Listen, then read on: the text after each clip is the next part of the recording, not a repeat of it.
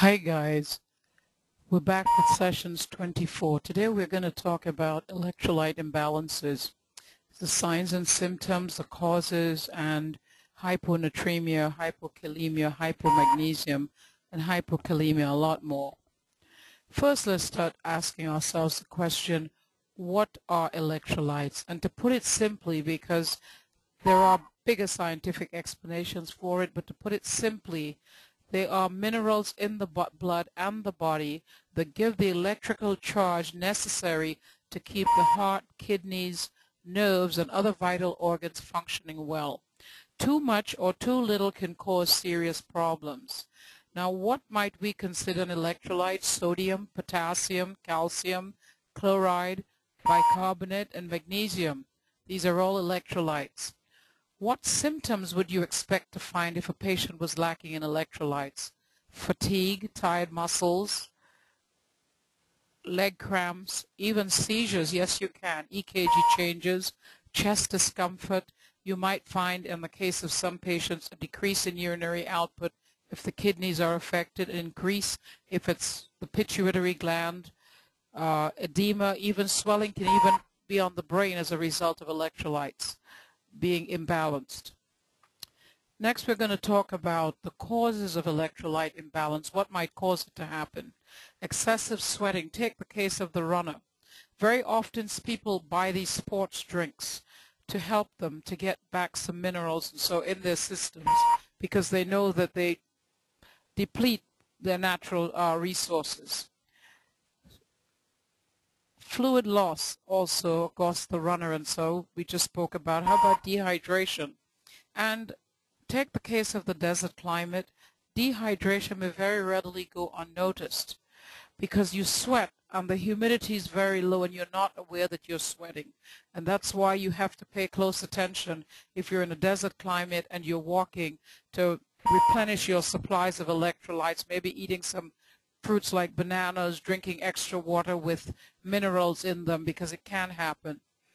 Uh, dehydration, and we talk about excessive vomiting, blood pressure medications, diuretics such as Lasix, potassium causes potassium depletion, um, massive blood loss might also cause it, and treatment will be directed, of course, at the cause. Whatever is causing the problem, that's what's going to be addressed. Now we're going to get more specific. Let's take the case of the hyponatremic patient.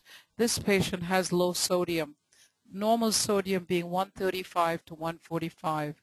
What can happen as a result of having a sodium that's too low or too high, patients may have seizures. And I worked in a brain unit we had many patients who had to have sodium tablets to get their sodiums back to normal. Or if their sodiums were very high, we'd have to give them extra free water until the sodiums came down. And of course, the blood is always checked to make sure that the sodium is in the right place. You don't just guess the number. Now hypokalemia, potassium, it's very low potassium. This patient is having terrible leg cramps. Why? Possibly she's been on one of those diuretics like Lasix that's not very potassium sparing. Even on the EKG you can see changes. You get that U wave. The T wave is more flattened than normal. So you can look at an EKG and tell sometimes that something is wrong. Then let's talk about preeclampsia. It is not fully understood what causes preeclampsia, but one thing is clear, that magnesium is used in the treatment of these patients. If you should have a patient who is on a magnesium infusion, you need to pay close attention to the side effects of magnesium because you can have patients with a decreased level of consciousness, decreased respirations, muscle weakness, and many times also, along with that, you will have a decrease in tendon reflexes. The drug of choice for uh, treating the antidote, it's called calcium gluconate. And the normal calcium, I'm so sorry, the normal magnesium is usually about 1.25 to 2.5. Then we have the patient who has been to surgery. Just take a look. She's lost a lot of fluids. She can very readily have problems with electrolytes. Let's take the case of this patient here in the ER on the left at the bottom. This patient's in the ER. Look at the oxygen saturation. It's only 86. respirations are very shallow, something is obviously wrong. What could possibly have happened? Sometimes when patients have difficulty breathing, it's directed at their pH or so. If you take an arterial blood gas and check it you might find the doctor will order something like bicarbonate sodium bicarbonate which is also an electrolyte. When it's replaced you get a better breathing effort and things begin to improve. Then we have also hyperkalemia which is the opposite of low potassium. When the potassium is very high patient may also have EKG changes a very tall T wave as you can see here which mimics uh, when a patient is having an MI or changes that you have with an MI. And of course, take a look at this patient in liver failure, large abdomen. This patient has got, along with liver problems, comes kidney problems. So what you would expect to find, these people have problems with excreting the normal way. The kidneys are not functioning properly. As a result, may, their diets have to be changed.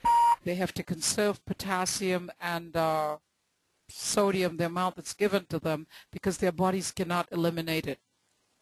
Hyponatremia also, which is hypo, which is very high sodium, you would expect the body to retain water. These patients can be very lethargic. Skin is stretched to the max.